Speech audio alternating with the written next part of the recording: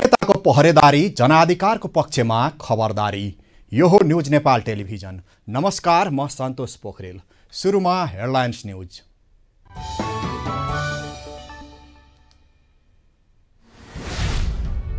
ICC विश्वकप league टूका विजेता खेलाडीलाई प्रति व्यक्ति दुई लाख रुपियाँ पुरस्कार दिने प्रधानमन्त्रीको घोषणा। खेलाडी दङ्ग।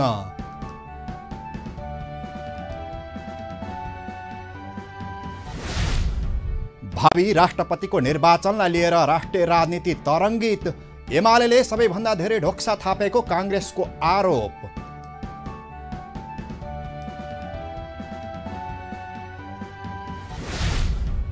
जनयुद्ध दिवसलाई राष्ट्रिय दिवसको मान्यता दिने सरकारको निर्णयप्रति एमाले अध्यक्ष ओली आक्रोशित माओवादीमा हिंसाको धङधङ्गी अझै बाँकी रहेको भनाई।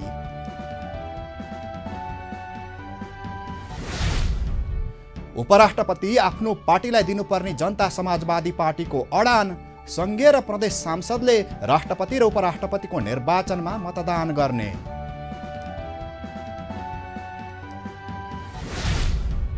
चुरे तथा वन जङ्गल संरक्षण अभियानद्वारा जनकपुरमा आन्दोलन सुरु विगतमा मधेस सरकारसँग भएको सहमति तत्काल कार्यान्वयन गर्न माग।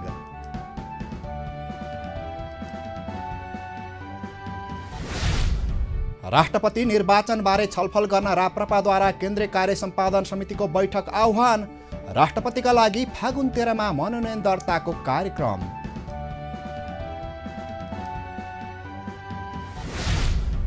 र सोमाली क्षेत्रमा सुरक्षा बल र जातीय समूहका सदस्यबीच लगातार सत्र दिनसम्म झडप अन्ठानब्बे जनाको मृत्यु पाँच सय भन्दा बढी घाइते।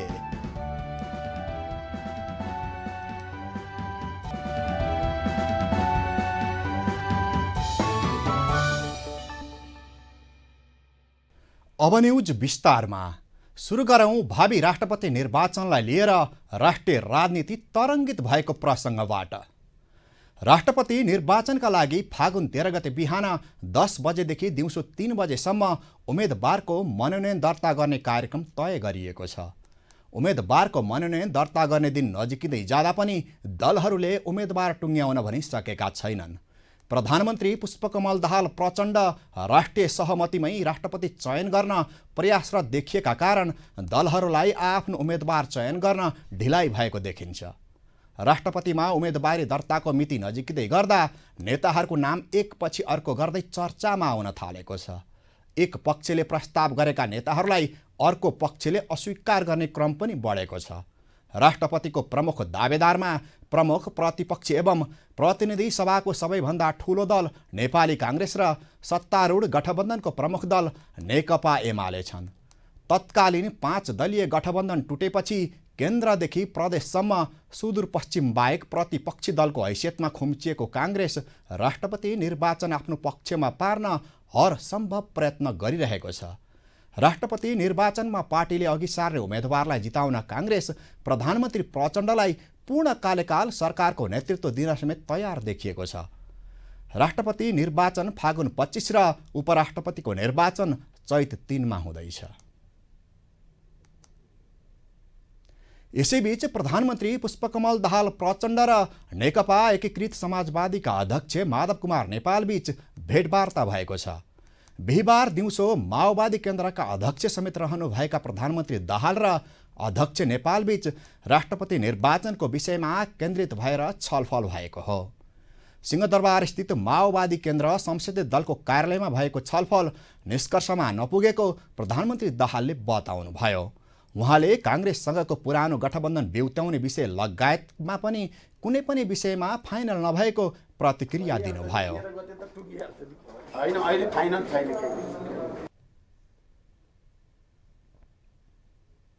यता अध्यक्ष नेपालले राष्ट्रपतिबारे विभिन्न विकल्पमा छलफल भइरहेको र भोलिसम्ममा टुङ्गोमा पुगिने बताउनुभयो। उहाँले आफूहरू देशको हित हुने विकल्पमा जाने पनि उल्लेख गर्नुभयो। अनेक अप्सन्सहरू छन् हाम्रा सामुमा ती अप्सन्सहरूमध्ये बेस्ट अप्सन के हुन्छ? जुन अप्सनले देशको राजनीतिलाई ठिक दिशामा लान सक्छ र देशको चाहिँ अब संविधानलाई जोगाउन राष्ट्रियतालाई बचाउन भूमिका खेल्छ। त्यही अप्सनमा जानुपर्छ। त्यसो हुनाले यहाँ कसले पाउने कुन व्यक्तिले पाउने कुन पार्टीले पाउने भन्नुभन्दा पनि कसरी यो देशको समस्यालाई हामीले सम्बोधन गर्ने भन्ने कुरा। नेकपा एकीकृत समाजवादीका अध्यक्ष नेपाललाई एमाले अध्यक्ष केपी ओलीले राष्ट्रपतिमा प्रस्ताव गरेपछि राजनीतिक भेटवार्तालाई सो पार्टीले पनि तीव्रता दिएको छ। यता प्रधानमन्त्री दाहाल भने काङ्ग्रेसलाई राष्ट्रपति बनाउन इच्छुक देखिनु भएको छ। राष्ट्रिय सहमतिका लागि पनि काङ्ग्रेसलाई समेट्नुपर्ने भन्दै उहाँले काङ्ग्रेस नेताहरूलाई राष्ट्रपति दिने वचन दिनुभएको बताइएको छ।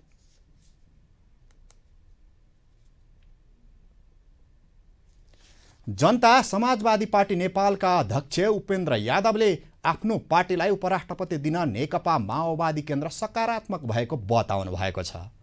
बिहिबार सिंहदरबार स्थित माओवादी केन्द्रको संसदीय दलको कार्यालयमा माओवादी केन्द्रका अध्यक्ष तथा प्रधानमन्त्री पुष्पकमल दाहालसँगको छलफलपछि सञ्चारकर्मीहरूलाई प्रतिक्रिया दिँदै उहाँले यस्तो बताउनु भएको हो। छलफलका क्रममा आफूहरूले राष्ट्रपति उपराष्ट्रपतिको निर्वाचन तथा सरकारको विषयमा धारणा राखेको उहाँले बताउनुभयो। प्रधानमन्त्री दाहाल जसपालाई उपराष्ट्रपति दिन सकारात्मक भएको उहाँले उल्लेख गर्नुभयो। सरकार सञ्चालन लगायतका विषयहरू प्रवेश गर्यो र छलफल प्रारम्भ भएको छ। र त्यो निरन्तर जारी छ बैठक। बिचमा मन्त्री परिषदको बैठक बस्ने भएको हुनाले ब्रेक भएको छ। माधवजी समाजवादीजी हामी र माओवादी फेरि पस्ने कुरा भएको। त्यसपछि त उतैतिर जाने होला। अब त्यो अहिले टुङ्गो भइसकेको छैन। र कुराकानी राम्रो वातावरणमा भएको छ। र निष्कर्षमा पुग्नलाई अझै छलफल अझै बैठकहरू अझै कार्य गर्न आवश्यक छ। अध्यक्ष यादवले प्रधानमन्त्री दाहालले जुनसुकै काम गर्दा पनि नेपाली काङ्ग्रेसलाई सहमतिमा लिएर जान चाहेको धारणा व्यक्त गर्नुभएको उल्लेख गर्नुभयो। दाहालले आगामी दिनमा काङ्ग्रेससँग सहकार्य गर्नुपर्नेमा जोड दिनुभएको उहाँले बताउनुभयो।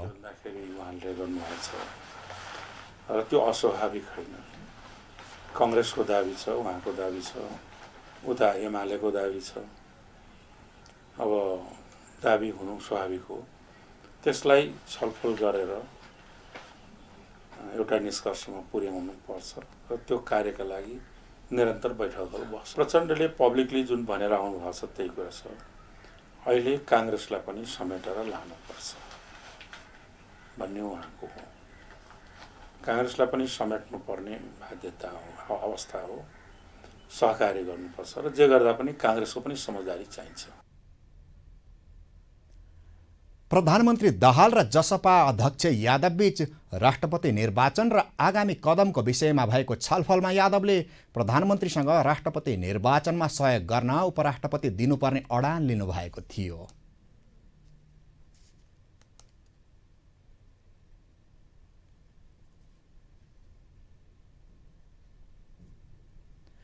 यसैबीच नेकपा माओवादी केन्द्रका महासचिव देव गुरुङले सबैको सहमतिमा राष्ट्रपति निर्वाचित गराउन सके देशको स्वाधीनताको रक्षा हुने बताउनु भएको छ। बिहिबार रफत सञ्चार क्लबले भक्तपुरमा आयोजना गरेको साक्षात्कार कार्यक्रममा बोल्दै महासचिव गुरुङले सहमतिमा राष्ट्रपति निर्वाचित गराउँदा देशको स्वाधीनताको रक्षा हुने बताउनु भएको हो। उहाँले देशको स्वाधीनताको रक्षाका लागि राष्ट्रपतिका निम्ति सबै दलले समर्थन गर्ने खालको पात्र हुनुपर्ने बताउनुभयो। नेपाल शक्ति केन्द्रहरूको इपी सेन्टर बन्दै गरेको उल्लेख गर्दै उहाँले यस्तो अवस्थामा दलहरूका बीचमा आपसी सहमति र सहकार्य हुनुपर्नेमा जोड दिनुभयो।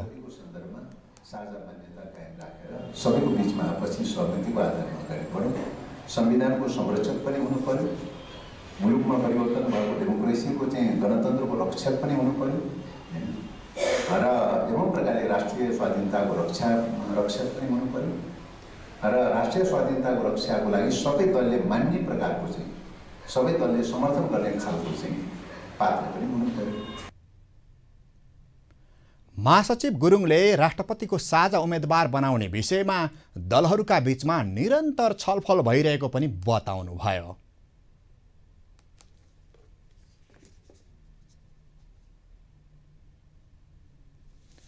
भावी राष्ट्रपति निर्वाचनलाई लिएर राष्ट्रिय राजनीति तरङ्गित छ। राष्ट्रपतिमा कुन दलले बाजी मार्ला कस्ता व्यक्ति राष्ट्रपति बन्नुहोला भन्ने आम चासो र चर्चा पनि छ।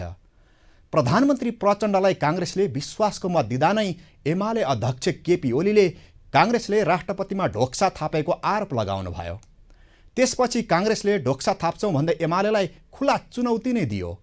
राष्ट्रपतिको निर्वाचन नजिकै गर्दा अहिले सबै नेताले ढोक्सा थाप्नु भएको छ। हेरौँ यो रिपोर्ट। गत पुस छब्बिस गते संसदमा प्रधानमन्त्री पुष्पकमल दाहाल प्रचण्डलाई नेपाली काङ्ग्रेसले विश्वासको मत दिएपछि एमाले अध्यक्ष केपी शर्मा ओली निकै फायर हुनुभयो। कारणहरू केही थिएन। प्रचण्ड र माओवादीलाई फकाउन काङ्ग्रेसले विश्वासको मत दिएर ढोक्सा थाप्यो भन्ने थियो। प्रधानमन्त्री प्रचण्डलाई विश्वासको मत दिने काङ्ग्रेसको निर्णयप्रति ओली निकै आशंका गर्नुभयो। यदि काङ्ग्रेसले राष्ट्रपतिमा ढोक्सा थापेको हो भने त्यो सह्य हुँदैन भनेर संसदमा प्रतिवाद नै गर्नुभयो। प्रमुख प्रतिपक्ष नेपाली काङ्ग्रेसले समर्थन जनाइसकेका छ यदि यो समर्थनभित्र सदाशयता बाहेक अरू कुरा छैन भने यदि यो समर्थन कुनै जाल होइन भने। यो समर्थन कुनै ढोक्सा होइन भने। स्वागत योग्य छ? ढोक्सा हो भने म भन्न चाहन्छु जाल हो भने म भन्न चाहन्छु माछा नभएको खोलामा फ्याँके जस्तै हुनेछ जाल। ओलीले भने जस्तै नेपाली काङ्ग्रेसले प्रधानमन्त्री प्रचण्डलाई विश्वासको मत दिएपछि राष्ट्रपतिको ढोक्सा थाप्न सुरु गर्यो। काङ्ग्रेसले राष्ट्रपति निर्वाचनमा ढोक्सा थाप्छौँ भन्दै खुल्ला चुनौती नै दिन थाल्यो। त्यस्तो राष्ट्रपतिको प्रतिवादमा काङ्ग्रेस उत्रिँदै गर्दा काङ्ग्रेसले ढोक्सा थापेको भनेर मानिन्छ भने हामी त्यो ढोक्सा राम्रोसँग थाप्न तयार छौँ। संवैधानिक मर्यादाको रक्षा गर्नका निम्ति देशको अभिभावक राष्ट्रपति पद हो भन्ने स्थापित गर्नका निम्ति संविधानका सम्पूर्ण मान्यताहरू अक्षुण राख्न दत्तचित्त हुने व्यक्ति राष्ट्रपति बनाउनका निम्ति नेपाली कङ्ग्रेस प्रतिबद्ध छ। सुदूरपश्चिम प्रदेशका एमालेका तत्कालीन मुख्यमन्त्री राजेन्द्र रावलले विश्वासको मत नपाएपछि सत्ताबाट बाहिरिएपछि एमाले र माओवादी केन्द्रबीचको दूरी झनै बढेको छ। बरु पछिल्लो समय एमाले अध्यक्ष केपी शर्मा ओलीले राष्ट्रपतिका लागि सबैभन्दा धेरै ढोक्सा थापेको काङ्ग्रेसको आरोप छ। ओलीले ईश्वर पोखरेलदेखि सुभाष नेवाङ र एकीकृत समाजवादीका अध्यक्ष माधव कुमार नेपालसम्मको नाममा डोक्सा थाप्नु भएको छ। अब सुनको बाला देखाउने भनेर कमरेड केपी ओलीले काङ्ग्रेसलाई भन्नुहुन्थ्यो। सुनको बाला निकै एउटा छ कि क्या हो? तपाईँको बालकोटमा कहिले उहाँ माधव कमरेडलाई देखाउनुहुन्छ कहिले झलनाथ कमरेडलाई देखाउनुहुन्छ कहिले महन्त कमरेडलाई देखाउनुहुन्छ? त्यस कारण उहाँको सुनको बालाको कुरामा अल्मलिनु अहिले हुँदैन।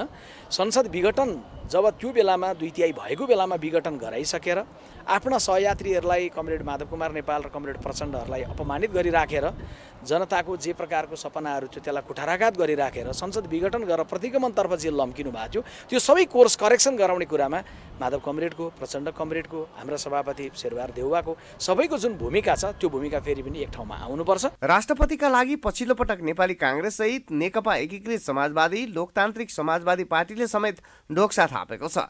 राष्ट्रपतिका लागि नेपाली काङ्ग्रेसले वरिष्ठ नेता रामचन्द्र पौडेल र पूर्व महामन्त्री कृष्ण सिटौलालाई अगाडि सारेको छ। एकीकृत समाजवादीले पार्टी अध्यक्ष माधव कुमार नेपाल र लोसपाले पनि अध्यक्ष महन्त ठाकुरलाई राष्ट्रपतिका लागि ढोक्सा थापेको छ। पुस दसमा सरकार गठन हुँदा राष्ट्रपति आफूले लिने सहमति भएको भन्ने एमाले अन्तत राष्ट्रपति निर्वाचनसम्म पुग्दा राष्ट्रपति विहीन हुने अवस्थामा पुगेको त होइन भन्ने आकलन गर्न थालिएको छ।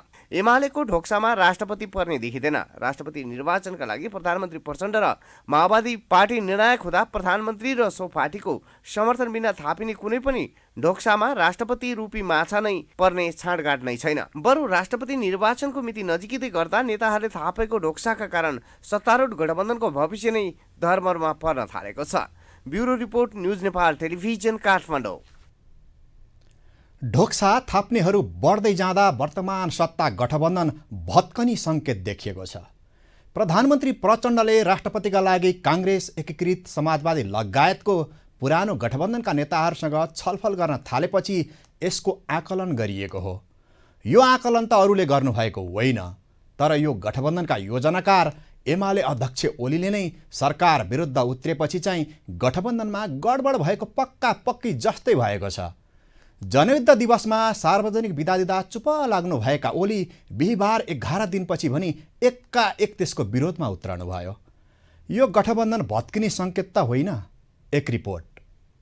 माघ उन्तिस गतेको मन्त्री परिषद बैठकले फागुन एक गतेलाई जनयुद्ध दिवसको घोषणा गर्दै सार्वजनिक विदा दिने निर्णय गर्यो र विदा पनि दियो। विदा कार्यान्वयन गरेदेखि बुधबारसम्म मौन समर्थन जनाउँदै आउनुभएका नेकपा एमालेका अध्यक्ष केपी शर्मा ओलीले सत्ता गठबन्धनभित्र उत्पन्न सङ्कटले उत्कर्ष लिनै लाग्दा सरकारी निर्णयको विरोध गर्नुभएको छ। सरकारको निर्णयप्रति करिब दुई हप्तासम्म केही नबोली सरकारमा रहनुभएका आफ्ना मन्त्रीहरूलाई काम गर्न मात्र होइन आसन्न राष्ट्रपतिको निर्वाचनमा आफूले चाय बमोजिमको पात्रलाई निर्वाचित गराउन प्रधानमन्त्री पुष्पकमल दाहालसँग निरन्तर संवादको श्रृङ्खला चलाउँदै आउनुभएका ओलीले पछिल्लो समय गठबन्धन भत्किने सम्भावना बढेपछि भने आफैले बनाएको सरकारको निर्णयप्रति असन्तुष्टि व्यक्त गर्नुभएको हो।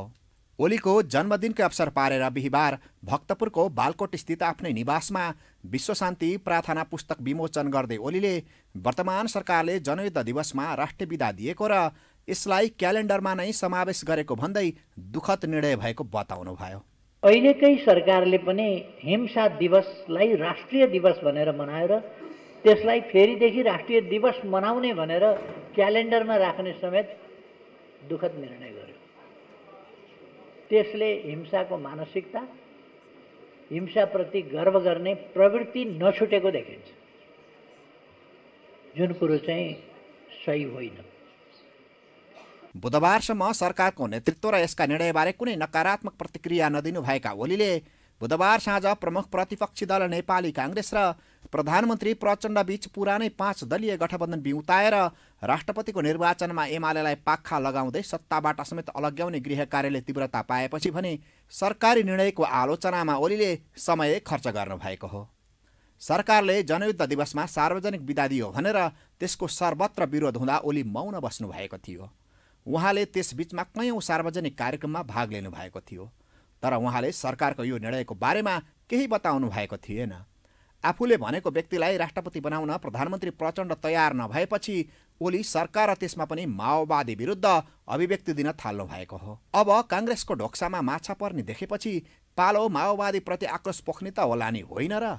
Bureau report news Nepal television Kathmandu. राष्ट्रपति निर्वाचनमा भाग लिने कि बहिष्कार गर्ने भन्ने विषयमा राष्ट्रिय प्रजातन्त्र पार्टीले केन्द्रीय कार्य सम्पादन समितिबाट निर्णय लिने भएको छ। राप्रपाका प्रवक्ता एवं प्रचार विभाग प्रमुख मोहन श्रेष्ठले राष्ट्रपति र उपराष्ट्रपति निर्वाचन तथा समसामयिक राजनीतिका विषयमा छलफल गर्नका लागि पार्टीको केन्द्रीय कार्य सम्पादन समितिको बैठक बोलाइएको जानकारी दिनुभयो। केन्द्रीय कार्य सम्पादन समितिको बैठक शुक्रबार दिउँसो साढे बाह्र बजे बस्ने तय भएको छ। राप्रपाका केही पदाधिकारी र सांसदहरूले नै राष्ट्रपति निर्वाचन बहिष्कार गर्नुपर्ने धारणा राख्दै आउनु भएको छ।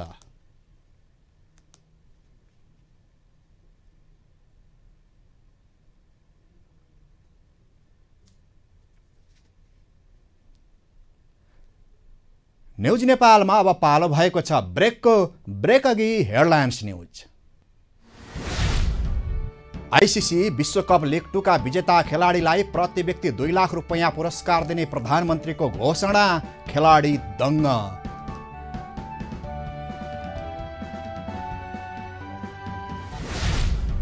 भावी राष्ट्रपतिको निर्वाचनलाई लिएर राष्ट्रिय राजनीति तरङ्गित एमाले सबैभन्दा धेरै ढोक्सा थापेको काङ्ग्रेसको आरोप।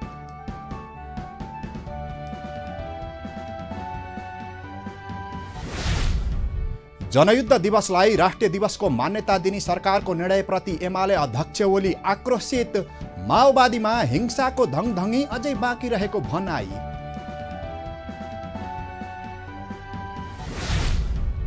उपराष्ट्रपति आफ्नो पार्टीलाई दिनुपर्ने जनता समाजवादी पार्टीको अडान सङ्घीय र प्रदेश सांसदले राष्ट्रपति र उपराष्ट्रपतिको निर्वाचनमा मतदान गर्ने।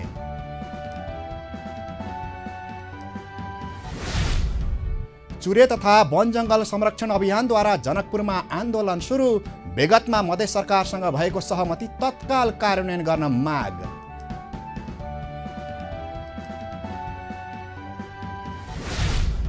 राष्ट्रपति निर्वाचनबारे छलफल गर्न राप्रपाद्वारा केन्द्रीय कार्य सम्पादन समितिको बैठक आह्वान।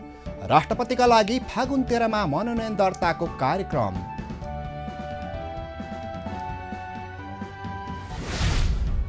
र सोमाली क्षेत्रमा सुरक्षा बल र जातीय समूहका सदस्यबीच लगातार सत्र दिनसम्म झडप अन्ठानब्बे जनाको मृत्यु पाँच सय भन्दा बढी घाइते।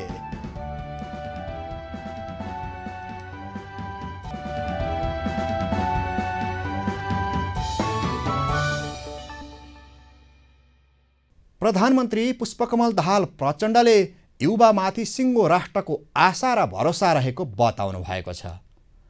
टुडीखेलमा बिहिबार आयोजित राष्ट्रिय सेवा दलद्वारा सञ्चालित सत्रौँ ब्याच सिनियर डिभिजन तालिमको दीक्षान्त कवाजलाई सम्बोधन गर्दै उहाँले वर्तमान अवस्थामा अनुशासित र राष्ट्रप्रति समर्पित युवा हरेक राष्ट्रको पहिलो आवश्यकता भएको बताउनुभयो। नैतिकवान क्षमतावान र देशभक्त युवा तयार गरी राष्ट्रको आवश्यकता सम्बोधन गर्ने उद्देश्यसहित राष्ट्रिय सेवा दल स्थापना भएको उल्लेख गर्दै प्रधानमन्त्री दाहालले राष्ट्रलाई आवश्यक परेको बेलामा निस्वार्थ सेवाभावबाट समर्पित भई नेतृत्वदायी भूमिका निर्वाह गर्न विश्वास पनि व्यक्त गर्नुभयो। उपप्रधान एवं भौतिक पूर्वाधार तथा यातायात मन्त्री नारायण काजी श्रेष्ठको टोलीद्वारा कलङ्की महाराजगञ्ज सडक खण्डको स्थलगत निरीक्षण गरिएको छ। बिहिबार मन्त्री श्रेष्ठसहित नेपालका लागि चिनिया राजदूत छनसङ काठमाडौँ महानगरपालिकाका मेयर बालेन्द्र शाह नेपाल विद्युत प्राधिकरणका कार्यकारी निर्देशक कुलमान घिसिङ लगायतको टोलीले सडक खण्डको निरीक्षण एवं अवलोकन गरेको हो। अवलोकनपछि सञ्चारकर्मीहरूसँग कुरा गर्दै मन्त्री श्रेष्ठले दोस्रो खण्डको चक्रपथ विस्तार अब चाँडै सुरु हुने सहमति भएको बताउनुभयो।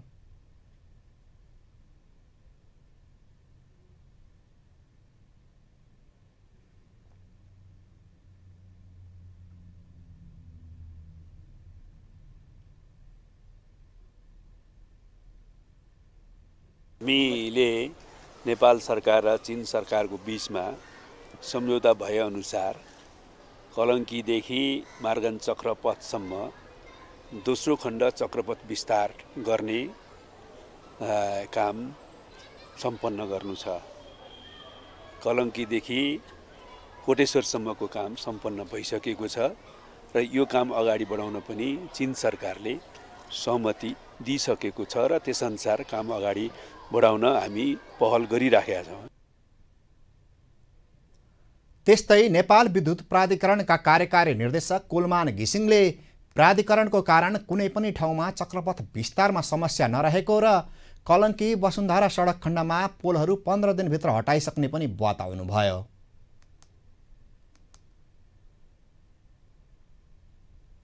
अब यो रिङ रोड विस्तारको कलङ्की चाबिलसम्मको रिङ रोड विस्तारमा हाम्रो पोल सार्नुपर्ने काम चाहिँ हामीले सकाइसकेका छौँ।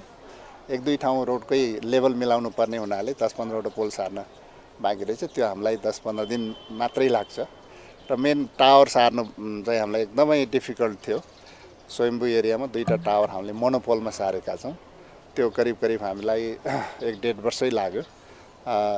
अहिले हाम्रो कारणले विद्युत प्राधिकरणको पोलको कारणले कुनै पनि ठाउँमा यो रिङ रोड विस्तारको लागि समस्या छैन। चक्रपथ विस्तारको काम कलङ्केदेखि वसुन्धारासम्म आठ दशमलव दुई किलोमिटर दोस्रो चरणमा सुरु हुन लागेको हो। चुरे तथा वन जङ्गल संरक्षण अभियानले जनकपुरमा आन्दोलन सुरु गरेको छ। भूमिहीनहरूलाई तत्काल आवाससहितको जग्गाको व्यवस्था हुनुपर्ने लगायतका माग राख्दै अभियानले बिहिबारबाट मध्य प्रदेश सरकार विरुद्ध आन्दोलन सुरु गरेको हो। सोही क्रममा मुख्यमन्त्री कार्यालयमा धरना दिइएको थियो। आफूहरूले विगतमा राख्दै आएको माग पुरा नभएपछि मध्य प्रदेश सरकार विरुद्ध आन्दोलन सुरु गर्नु परेको अभियानका संरक्षक सरोज रायले बताउनुभयो। मागमा भूमिहीन सुगमवासीको मुद्दा छ। उनीहरूलाई जग्गा जमिन र आवास उपलब्ध गराओस् भनेर हामीले माग राखेका छौँ। अर्को माग यो जुन वैदेशिक रोजगारको ठुलो समस्या छ त्यसलाई सुव्यवस्थित सुरक्षित र योग्यता अनुसार सिप अनुसारको उसले रोजगारी पाओस् भनेर व्यवस्थित गरोस् त्यो हाम्रो माग रहेको छ। खोला उत्खननको विरोध गर्दा हत्या गरिएका दिलीप महतोलाई पर्यावरणीय सहित घोषणा गर्नुपर्ने अवैध क्रसर उद्योगहरूको गतिविधि उप तत्काल रोक लगाउनु पर्ने विगतमा मधेस सरकारले गरेका सहमति तत्काल कार्यान्वयन गर्नुपर्ने भूमि तथा सुकुमवासीको आवासको व्यवस्था गर्नुपर्ने वैदेशिक रोजगार सम्बन्धी समस्या हल गर्नुपर्ने लगायत अभियानको माग छ।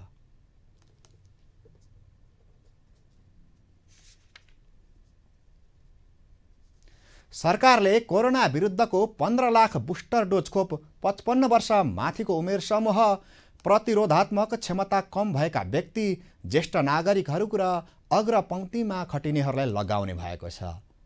गत सोमबार बुस्टर डोजका लागि थप खोप नेपाल आएको थियो।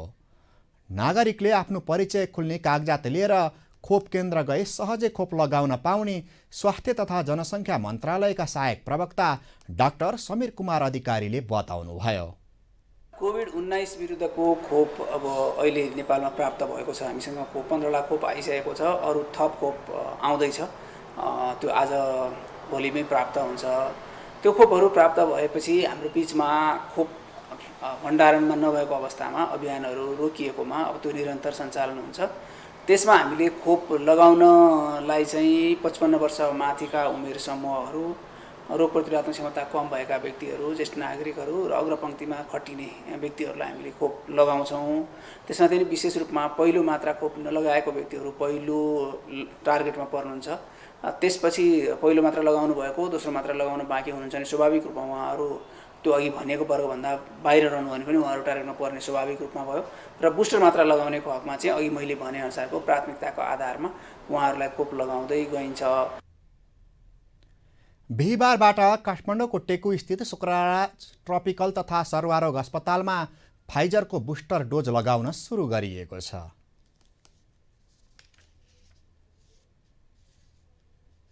सरकारले बिहिबारदेखि देशका पन्ध्र जिल्लामा हात्तीपाइले रोग विरुद्धको औषधि खुवाउने अभियान सुरु गरेको छ।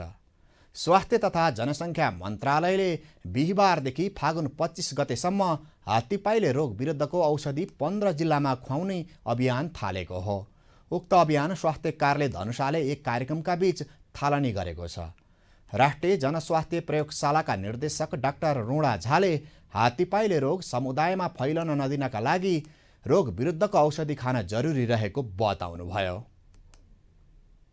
त्यति गाह्रो पनि होइन। यसो भन्दाखेरि चाहिँ औषधि खाएर यो चाहिँ कन्ट्रोल गर्न सकिने एकदमै नै अहिले त तिनवटा औषधिको कम्बिनेसन छ जसले कि एकदमै पोइन्ट एकचोटि खाएमै जिरो पोइन्ट चार प्रतिशत चाहिँ यसको समुदाय स्तरमा ट्रान्समिसनबाट त्यसको चाहिँ रुक्छ भने ट्रान्समिसन भने यसपछि पोइन्ट फोर पर्सेन्ट चाहिँ र दोस्रो औषधि खाएपछि चाहिँ यो पोइन्ट टू पर्सेन्टसम्ममा चाहिँ कम्युनिटीमा जुन अवस्था हुन्छ यसको त्यो चाहिँ पोइन्ट टू पर्सेन्टमा झर्ने गर्दछ।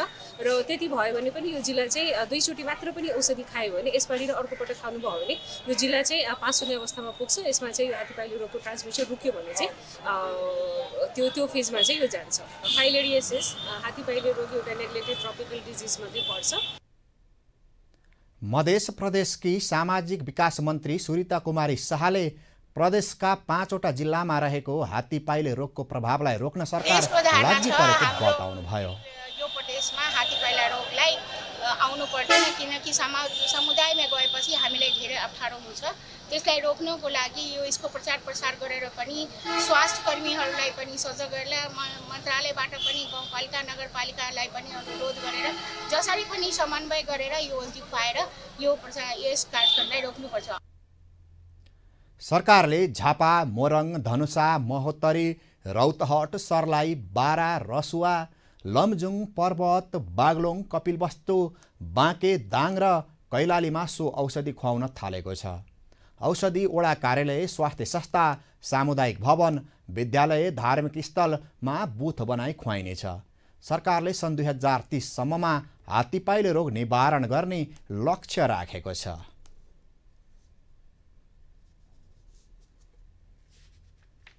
न्युज नेपालमा अब पालो भएको छ बिजनेस न्युजको।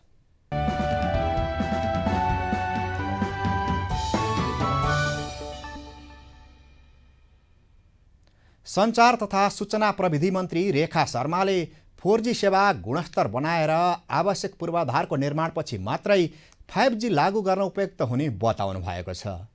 बिहिबार प्रविधि पत्रकार मञ्चले काठमाडौँमा आयोजना गरेको फाइभ जीको चुनौती र आगामी बाटो विषयको अन्तर्क्रिया कार्यक्रममा बोल्दै मन्त्री शर्माले यस्तो बताउनु भएको हो।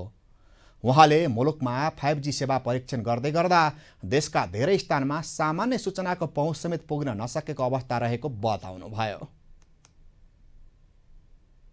हामीले हाम्रो फोर जीको स्ट्याटस थाहा नपाइकन होइन फाइभ जीमा कसरी अगाडि बढ्ने भन्ने विषयमा हाम्रो फोर जीको अहिले हालको स्ट्याटस के हो? अनि हामी कति ठाउँमा यसलाई अगाडि बढिरहेका छौँ? कति ठाउँमा यसबाट हामीले लाभ लिएका छौँ? अघि हाम्रो आनन्द आनन्द सर के अरे आनन्द सरले यहाँ भन्नुभयो होइन हामीले यो यसबाट हामीले यो कस्ट कति कस्ट प्रयोग गऱ्यौँ कति हामीलाई फिर्ता भयो? भन्ने कुराको एउटा व्यवस्थित लेखाजोखा नगरेर अब हामी संसारमा आउने प्रविधिलाई अगाडि बढ्दै बढ्दै बढ्दै जाने तर त्योबाट के भयो भन्ने कुराको समीक्षा गर्न सकेनौँ भने हामीलाई लाभभन्दा हानि धेरै हुन्छ जस्तो मलाई लाग्छ। त्यसकारण सर्वप्रथम त यो फोर जी हाम्रो एउटा भौगोलिक रूपमा हामी असाध्यै कठिन अवस्थामा छौँ। त्यस्तै नेपाल दूरसञ्चार प्राधिकरणका अध्यक्ष पुरुषोत्तम खनालले फाइभ जी सेवा अपेक्षा अनुसार नभएर पनि परीक्षण सुरु भएको भयो। सामना गरिरहेका छौँ। टेस्ट सरकारले सोचे जस्तो रेगुलेटरले सोचे जस्तो र आम उपभोक्ताले सोचे जस्तो टेस्ट अलि भएन कि भन्ने चाहिँ हाम्रो गुनासो छ। खास त्यसमा ट्यारिफको कुरा गरिएका थिए। ट्यारिफको किन कुरा गरिएका थिए भन्दाखेरि युजरलाई फ्री स्पेक्ट्रम फ्री। यो दुईवटा सर्त राखेको थियो। स्पेक्ट्रम फ्रीमा युज गर्ने टेस्टिङ अवधिभरि र स्पेक्ट्रम फ्री लिए बापत चाहिँ युजरले फ्री गर्नु टेस्ट युजरले पनि त फ्री युज गर्नु पाउनु पऱ्यो भन्ने चाहिँ रेगुलेटरको सर्त थियो रहेछ गभर्मेन्ट पनि त्यही थियो। नेपाल दूरसञ्चार प्राधिकरणले नेपालमा फाइभ जी ल्याउँदा हुने फाइदाहरूको विषयमा अध्ययन गरिरहेको छ।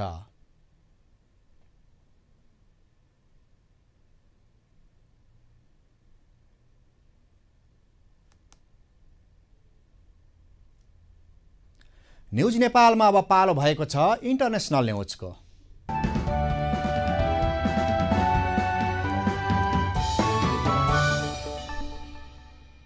सोमालील्यान्डबाट छुटिएको सोमाली क्षेत्रमा सुरक्षा बल र जातीय समूहका सदस्यबीच सत्र दिनसम्म भएको लगातारको झडपमा कम्तीमा अन्ठानब्बेजनाको मृत्यु भएको छ।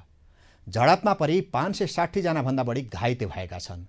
सन् उन्नाइस सय एकानब्बेदेखि सोमालील्यान्डले सोमालियाबाट स्वतन्त्रताको दावी गर्दै आएको छ तर अन्तर्राष्ट्रिय मान्यता प्राप्त गरेको छैन। राजनैतिक तनावका कारण सरकारी सेना र सोमालियाप्रति वफादार नागरिक सेनाबीच घातक हिंसाका घटना हुने गरेका छन्। पछिल्लो झडप फेब फेब्रुअरी छदेखि लास एनोडबाट सुरु भएको थियो। यसै महिनाको दस तारिकमा सोमालील्यान्डका अधिकारीले युद्धविराम घोषणा गरे पनि सोमालियाले आफ्ना सेनामाथि आक्रमण गरेको आरोप लगाएको छ।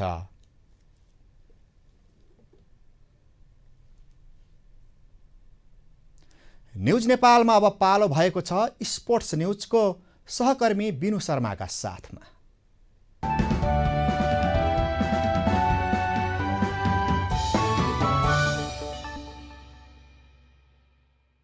सरकारले आइसिसी विश्वकप क्रिकेट लिग टू अन्तर्गत त्रिकोणात्मक सिरिज विजेता नेपाली क्रिकेट टोलीका सदस्यहरूलाई जनहित दुई लाख रुपियाँ सहित सम्मान गर्ने भएको छ। एक रिपोर्ट। बिहिबार प्रधानमन्त्री निवास बालुवाटारमा नेपाली राष्ट्रिय क्रिकेट टोलीका सदस्यहरूले प्रधानमन्त्री पुष्पकमल दाहाललाई भेटेसँगै दाहालले खेलाडीलाई पुरस्कार दिने घोषणा गर्नुभएको छ। हालै सम्पन्न नामिबिया र स्कटल्यान्डसँगको त्रिकोणात्मक सिरिज जितेका सम्पूर्ण नेपाली क्रिकेट खेलाडीहरूलाई प्रोत्साहन स्वरूप जनहित दुई लाख रुपियाँ दिने प्रधानमन्त्रीले घोषणा गर्नुभएको हो। त्रिभुवन विश्वविद्यालयको खेल मैदान किर्तिपुरमा सम्पन्न त्रिकोणात्मक सिरिजमा नेपालले चारवटै खेल जितेर सिरिज क्लिन स्विप गरेको थियो। नेपालले लिग दुईको त्रिकोणात्मक श्रृङ्खलामा नेपाल पहिलो पटक क्लिन स्विप गरेको हो। नेपालले श्रृङ्खलामा नामिबिया र स्कटल्यान्डमाथि दुई दुई खेलमा विजयी हात पारेको थियो। यस्तै नेपालले लगातार चार खेलमा जित निकालेको पनि पहिलो पटक हो।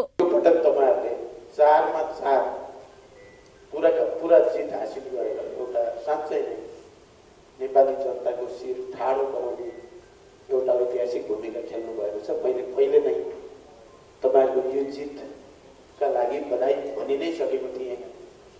र फेरि आज तपाईँहरूलाई यही प्रधानमन्त्रीको सचिवालयमा बोलाएर तपाईँहरूलाई सम्मान गर्न पाउँदा खुसी लागेको छ नेपाली राष्ट्रिय क्रिकेट टोली आइसिसी विश्वकप क्रिकेट लिग टू अन्तर्गत अर्को हप्ता युएईमा हुने त्रिकोणात्मक सिरिजका लागि युएई जाँदैछ।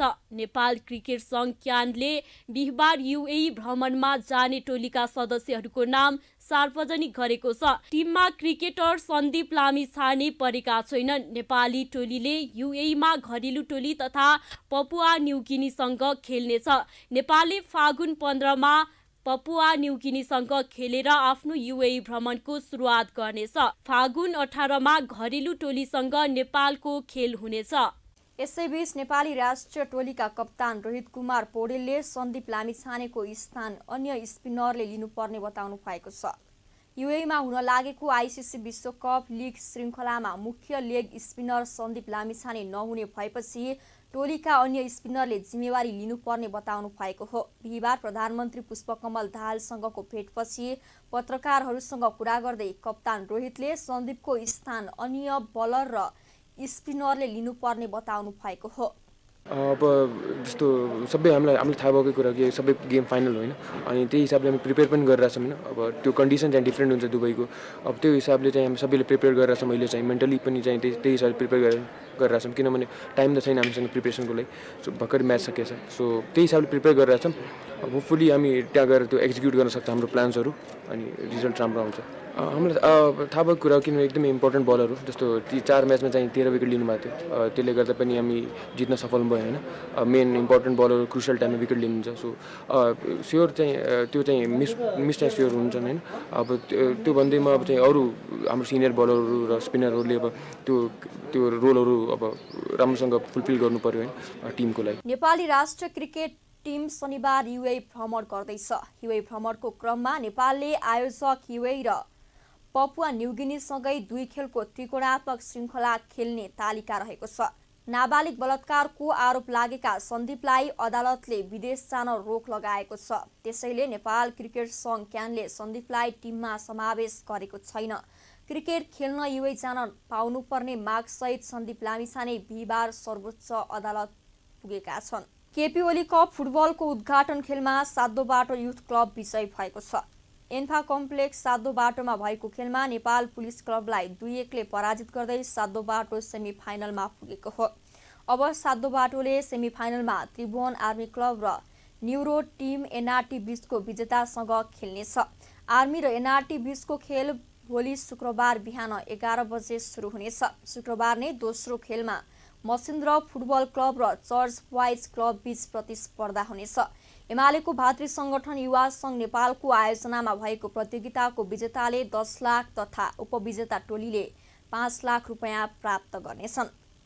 आइसिसी विश्वकप क्रिकेट लिग टू अन्तर्गत त्रिदेशीय एक दिवसीय श्रृङ्खलामा युएले नामिबियालाई एक विकेटले हराउँदै रोमाञ्चक जित निकालेको छ। दुवै क्रिकेट मैदानमा नामिबियाले दिएको बयानब्बे रनको सामान्य लक्ष्य युएले तेत्तिस ओभरमा नौ विकेट गुमाएर भेट्टाएको छ। यसअघि टस हारेर ब्याटिङ गरेको नामिबिया एकतिस ओभर एक बलमा एकानब्बे रन बनाउँदा अलआउट भएको छ। यो जितसँगै युए सत्ताइस खेलमा उन्तिस अङ्कका साथ तालिकाको पाँचौँ स्थानमा छ। नामिबिया पैँतिस खेलमा सडतिस अङ्कसहित तालिकाको तेस्रो स्थानमा छ।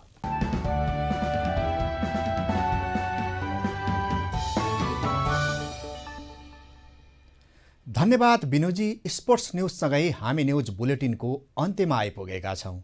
जाँदा जाँदै हेडलाइन्स न्युज पुनः एकपटक।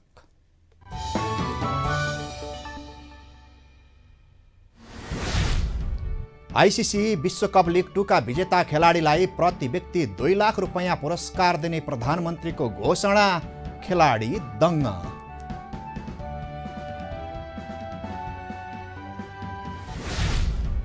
भावी राष्ट्रपतिको निर्वाचनलाई लिएर राष्ट्रिय राजनीति तरङ्गित एमाले सबैभन्दा धेरै ढोक्सा थापेको काङ्ग्रेसको आरोप।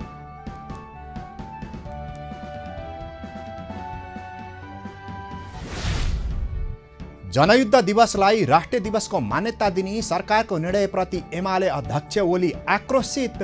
माओवादीमा हिंसाको धङधङ्गी अझै बाँकी रहेको भनाई। उपराष्ट्रपति आफ्नो पार्टीलाई दिनुपर्ने जनता समाजवादी पार्टीको अडान। सङ्घीय र प्रदेश सांसदले राष्ट्रपति र उपराष्ट्रपतिको निर्वाचनमा मतदान गर्ने।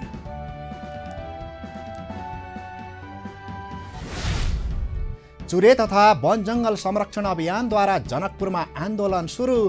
विगतमा मधेस सरकारसँग भएको सहमति तत्काल कार्यान्वयन गर्न माग।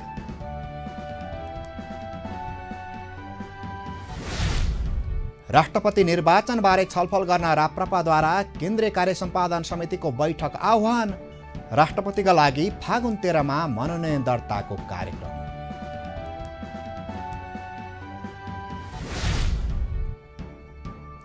र सोमाली क्षेत्रमा सुरक्षा बल र जातीय समूहका सदस्यबीच लगातार सत्र दिनसम्म झडप।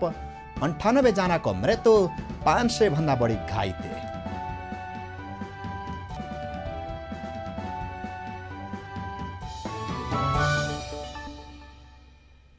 अहिलेलाई न्युज नेपालको न्युज बुलेटिन यति नै। हाम्रो न्युज र कार्यक्रमहरू युट्युब र फेसबुकमा पनि प्रत्यक्ष हेर्न सक्नुहुनेछ। राष्ट्रियताको पहरेदारी जनाधिकारको पक्षमा खबरदारी। हेर्दै रहनुहोला न्युज नेपाल टेलिभिजन। नमस्कार।